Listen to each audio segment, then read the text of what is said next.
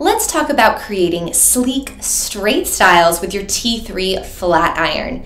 Whenever you're styling your hair, prep is so, so important. So if you've got really curly hair or if your hair type is coarse, we highly recommend prepping with a blowout. That helps to just stretch out the natural pattern of your hair and makes a really nice foundation for going in with your flat iron to get a sleek, straight style. Now, for all hair types, you always want to detangle and apply a heat protectant. I like to detangle by parting my hair down the middle, taking my favorite T3 brush and starting the detangle process at the ends of my hair and then working my way up. You start to meet any resistance, don't tug too hard. We always want to be very, very gentle on our hair. And then I'm going to go ahead and apply my heat protectant. Because I'm going for a smooth, sleek, straighter style, I'm going to use a heavier, more oil-based, cream-based heat protectant.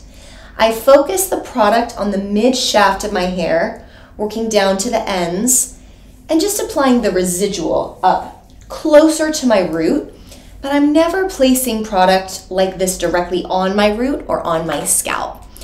And I take just about like a dime sized ish amount for each half of my hair. All right, should be prepped and ready. We'll let that soak in.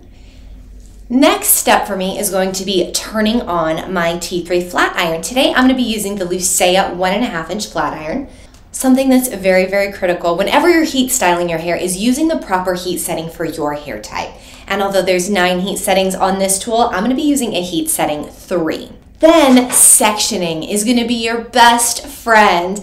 So many people, including my personal best friend, love to straighten their hair by just going in and like doing this don't. It makes your life so much harder and you end up taking more time and you're applying more heat to your hair than necessary. So section, section, section. I use the T3 clip kit and what I like to do is take this top half of my hair, clip it out, and now I can work from the bottom to the top of my hair.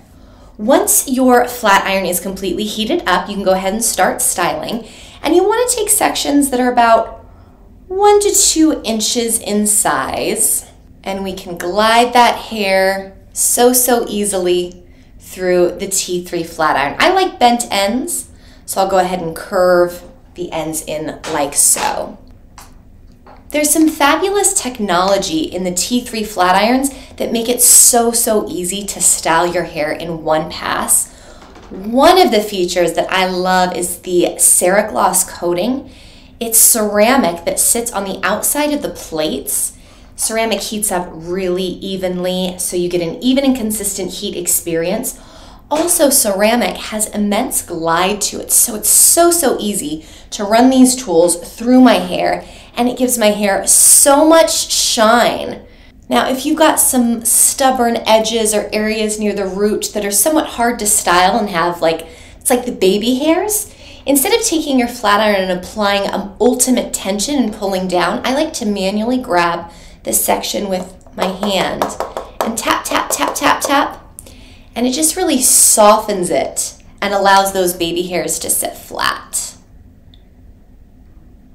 You also have great tension on this tool with this precision control hinge, I'm able to just flatten and then if I needed to go harder and have more tension, I can squeeze it even further. Pretty compelling stuff, right? All right, I'm gonna finish styling and I'll show you the final results in just a moment. Look at that beautiful shine. This style is absolutely going to outlast my day and it's all because we prepped our hair perfectly and we also used the right heat setting and took proper section sizes. That means this style is absolutely going to last and we were able to style our hair in a single pass.